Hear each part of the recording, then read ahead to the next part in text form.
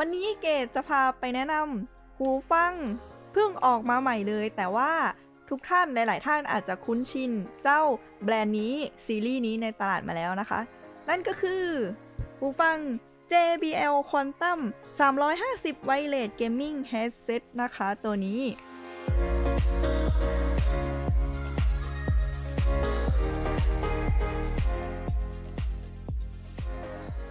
สวัสดีค่ะ และตอนนี้ทุกท่านก็อยู่กับเรา Soundproof Brother นะคะ และทุกท่านอยู่ในช่วงเกตรีวิววิววิววิวอ่าชื่อก็บอกอยู่แล้วเจ้า JBL Quantum เนี่ย เป็นหูฟังที่เกิดมาสำหรับใช้ในการเล่นเกมสตรีมโดยเฉพาะนะคะ และตัวนี้ก็เป็นรุ่นน้องใหม่ของเขา 350 Wireless นะคะ ตัวนี้ดูหน้ากล่องก่อนเลย มาใน รูปแบบธีมเดิมเลย สีส้ม สีของเขาเลย แล้วก็จะรุ่นจะอยู่ทางด้านซ้ายมือนะคะ 350 ตรงนี้เนาะตัวนี้รองรับอุปกรณ์เกมทุกแบบเลยนะคะ ดูได้ที่ด้านล่างเลย นี่ด้านล่าง ตรงนี้ แล้วก็ด้านหลังก็จะมีรายละเอียดต่างๆนะคะอ่าด้านข้าง ตรงนี้นี่พาไปให้ดูรอบกล่องก่อนนะอะเราพาไปดู กล่องรอบนอกแล้วนะคะ ต่อไปเกดจะพาไปดูเจ้าหูฟัง JBL Quantum 350 นะคะ ตัวนี้ ก่อนอื่นเลย ในกล่องเขาก็จะให้แน่นอน รีวิวหูฟังก็ต้องมีหูฟังสิ นี่ หูฟัง JBL Quantum 350 นะคะ ไวเลสตัวนี้ แล้วก็พร้อมอุปกรณ์คู่มือต่างๆนะคะ มี คู่มือ แล้วก็ใบการันตี นี่ให้มาเป็นแผงอย่างนี้เลยเนาะคู่มือเขาดูไม่ยากนะคะ ตัวนี้ลองเกดลองเปิดดูคร่าวๆแล้วก็สอนวิธีการใช้งานเบื้องต้น ใส่ชาร์จน่าใส่ชาร์จไม่ไม่ของเขาตัวนี้รุ่นนี้ 350 ไวเลสจะถอดได้นะคะ แล้วก็พอร์ตเชื่อมสัญญาณไวเลสนะคะตัวนี้ เอาละค่ะ เกดก็พาไปดูอุปกรณ์คร่าวๆ ของเจ้าหูฟัง JBL Quantum 350ไวเลสแล้วนะคะ ต่อไปเกดก็จะพาไปแนะนำให้รู้จักกับเจ้าหูฟัง JBL Quantum 350 นะคะ ตัวนี้ ตัวนี้เขาจะเป็น over ear นะคะตามภาพเลย over ear บอกซ้ายขวาชัดเจน ด้านในนะคะตรงนี้ แล้วก็เขาเป็นหูฟังเกมมิ่งไร้สายที่ 3D Surround นะคะก็คือเป็น 360 องศานะคะ ใส่แล้วรับเสียงได้รอบทิศทางเลยนะคะ ตัวนี้รองรับอุปกรณ์การเล่นเกมทุกรูปแบบนะคะ โดยเฉพาะโปรแกรม Discord เลยก็คือโปรแกรมที่สำหรับอ่าชาวเกมเมอร์ใช้ในการสื่อสารกันนะคะ หรือว่า Skype ไว้คุยงานได้นะคะ ตัวนี้ ตัวนี้เชื่อมต่อไร้สายด้วย USB port นะคะ 2.4 GHz นะคะ ที่หยิบให้ดูเมื่อกี้ เจ้า 350 driver 40มิลลิเมตรนะคะ เจ้าหูฟัง JBL Quantum 350 Wireless เนี่ย ขับเคลื่อนอด้วย JBL Quantum Sound Signature นะคะ ที่สามารถแยกเสียง detail ต่างๆ ได้อย่างสมจริงนะคะ แล้วก็มีฟีเจอร์ JBL Quantum Surround ได้ยินเสียงทุกมิติรอบทิศทาง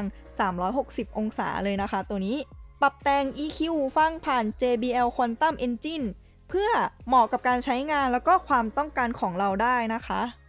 รองรับการชาร์จเร็วด้วยสายชาร์จ USB Type C นะคะ ตัวนี้เนี่ยเขาเคมที่หน้ากล่องว่าชาร์จ 5 นาทีอยู่ได้ถึง 1 ชั่วโมงเลยนะคะ แล้วก็เจ้าหูฟัง JBL Quantum 350 Wireless ตัวเนี้ยใช้งานได้สูงสุดถึง 22 ชั่วโมงเลยนะคะ ตัวนี้ในการใช้งานถึงสูงสุดถึง 22 ชั่วโมงเนี่ยชาร์จเพียง 2 ชั่วโมงเท่านั้นนะคะ แล้วก็ในส่วนของไมค์เจ้าไมค์บูมตัวนี้สามารถถอดเก็บได้นะคะตัวนี้ไมค์บูมให้เสียงคมชัดในการสื่อสารสนทนานะคะ ถอดเก็บได้ แล้วก็เวลาใช้งานนะคะ รูชาร์จ ไม่ใช่รูชาร์จ รูเสียบเขาจะอยู่ที่ด้านซ้ายนะคะ ตามปกติ อ่า เสียบลงไปอย่างนี้ แล้วก็ลองสวมดู นี่จะอยู่ปรับระดับได้นะคะ ไมค์เขาจะปรับระดับได้นะคะ ตรงนี้นี่ขึ้นลงได้ถอดเก็บได้เวลาไม่ได้ใช้เนาะแล้วก็ในส่วนของหูฟังเนี่ยเขาสามารถปรับระดับได้เหมือนกัน ปรับสูงสุดได้ถึง 6 ระดับเลยนะคะสำหรับขนาดของศีรษะของเรานะคะ นี่เดี๋ยวจะเอามาให้ดูนี่มีขีดขีดบอกด้วย 1-6 เลยนะคะ ตรงนี้ วัสดุของเขาเนี่ยจะเป็นเหมือนพลาสติกนะคะ ตัวนี้ แล้วก็ตรงเฮดแบนจะมี ที่รองรับเหมือนบุเป็นฟองน้ำรองรับอยู่นะคะ เจ้าตัวเอียร์คัพเป็นฟองน้ำหนัง PC นะตรงนี้ ใส่ได้นานเป็นหนังนิ่มๆ ใช้นานไม่ปวดหูนะคะ แล้วก็มีเอียร์คัพที่ค่อนข้างใหญ่ รองรับกับหูใส่สบายเนาะเหมาะกับการใส่ได้นั่งยาวๆเลยนะคะ ตัวนี้ แต่ว่าเจ้าตัวเนี้ย เจ้าควอนตัม350 ไวเลสเนี่ย จะ ไม่รองรับบลูทูธนะคะ แล้วก็ไม่สามารถใช้กับมือถือได้นะคะ จะใช้เป็นสัญญาณเชื่อมต่อกับคอมแล้วก็อุปกรณ์ต่างๆ แทนนะคะ อย่างที่แนะนำไปเนาะแล้วก็ปุ่มต่างๆนะคะ เจ้าฝั่งซ้าย จะมีรูเสียบสำหรับไมค์แล้วก็รูชาร์จ Type C สำหรับชาร์จนะคะ ตรงนี้ แล้วก็ด้านหลังของด้านซ้ายจะมีปุ่มเพิ่มลดเสียงอ่าเพิ่มลดเสียงด้านนี้เนาะ วลาเราใช้งาน แล้วก็ปุ่มเปิดปิดเสียงไมค์ตรงนี้ เปิดปิดเสียงไมค์ตรงนี้ได้เลย ส่วนด้านขวา ด้านล่างของด้านขวาจะเป็นปุ่มเปิดปิดหูฟัง เวลาเราเปิดปุ๊บ มันก็จะมีไฟสถานะบอกว่าเราเปิดแล้วขึ้นมาอย่างนี้นะคะ ก็คร่าวๆสำหรับหูฟัง JBL Quantum 350 Wireless ตัวนี้จบไปแล้วนะคะ รูปลักษณ์เขาก็จะคล้ายๆกับอ่า เจ้าซีรีส์ควอนตัมต่างๆ แต่ว่าตัวนี้จะ driver แค่ 40มิลลิเมตรอ่าจุดเด่นของเขาก็คือจะถอดไมค์ได้นะคะตรงนี้ แล้วก็เสียงเนี่ยก็คือเป็นหูฟังที่เหมาะสำหรับการเล่นเกม surround รอบทิศทางนะคะ ตัวนี้ที่ทำมาอ่อหูฟังเป็น over-ear อยู่แล้ว แล้วก็มีสีเดียวเป็นสีดำตามที่เห็นเลยตัวนี้ เจ้าตัว JBL Quantum 350 Wireless เนี่ย ราคาจะอยู่ที่ 4,490 นะคะ ตัวนี้รับประกัน 1 ปีเต็มนะคะ ถ้าใครสนใจก็สามารถมาดูตัวจริงตัวเดโมที่ร้านได้นะคะ หรือว่าถ้าจะลองมาลองฟังคือที่ร้านอะก็มาลองได้ มีมีคอมอยู่ถ้าใครอยากฟังเสียงนะคะ ตรงนี้ก็เกดก็แนะนำสำหรับคนที่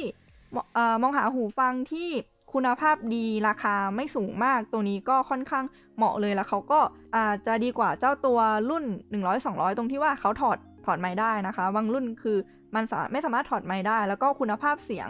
โอเคเลยราคาไม่แรงเหมาะกับราคานะคะ ตัวนี้ก็จบแล้วกับการรีวิว เจ้าควอนตัม350ไวเลสนะคะ ยังไงก็ฝากกดไลค์กดแชร์คลิปนี้ให้เกดด้วยนะคะ แล้วก็